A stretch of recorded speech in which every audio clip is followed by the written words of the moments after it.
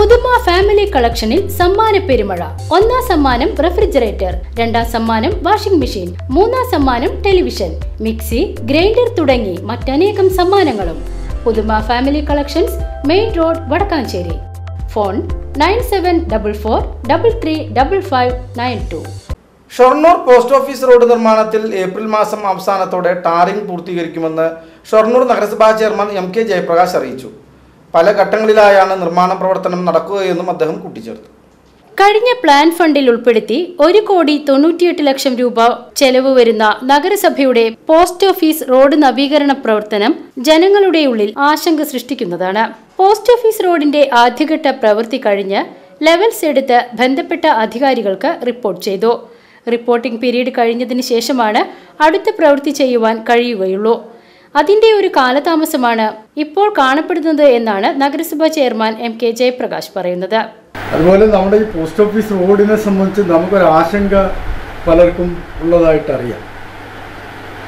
ഈ post office റോഡിന്റെ ആദ്യഘട്ട പ്രവൃത്തി കഴിഞ്ഞ് അത് ലെവലെടുത്ത് ലെവൽസ് എടുത്ത് ബന്ധപ്പെട്ട അധികാരികൾക്ക് റിപ്പോർട്ട് ചെയ്ത് അതിന്റെ റിപ്പോർട്ടിംഗ് പീരീഡ് കഴിഞ്ഞതിന് ശേഷമാണ് പിന്നീട് നമുക്ക് അടുത്ത വെറ്റ് മിക്സ് ഇടുന്ന പ്രവൃത്തി ആരംഭിക്കാൻ സാധിക്കും.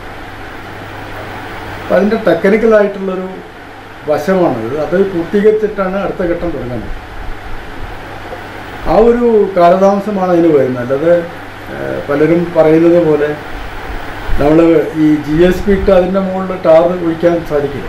ജി എസ് പി ഇട്ട് പിന്നെ അതിന്റെ മുകളിൽ വെറ്റ് മിക്സ് ഇട്ട്.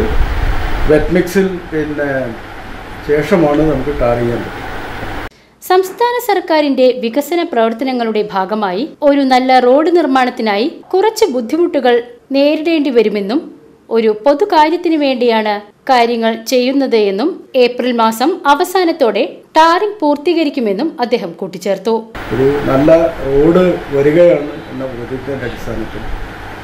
കുറച്ചെല്ലാം നമ്മൾ ബുദ്ധിമുട്ട് പ്രയാസങ്ങളുണ്ട് എന്ന് നമുക്കറിയാം.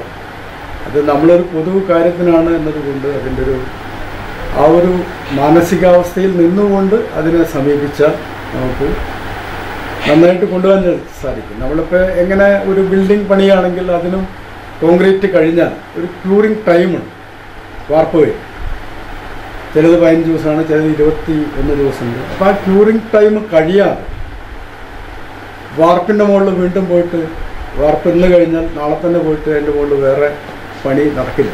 നടത്താൻ പാടില്ല അത് നിയമവിരുദ്ധമാണ്. അത്ര അങ്ങനെ ആലോചിച്ചാൽ മതി. അത്ര ആണ് ഈ റോഡിന്റെ കാര്യം.